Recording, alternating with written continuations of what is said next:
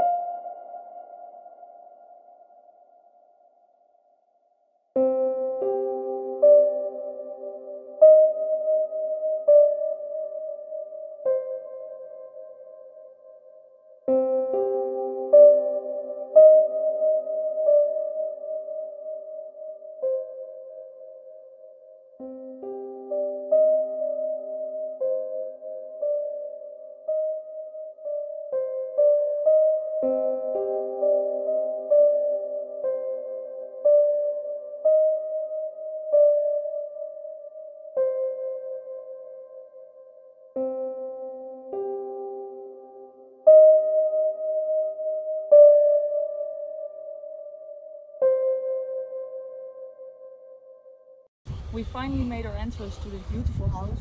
It's a very, very big house with a lot of history, and uh, let's go explore it.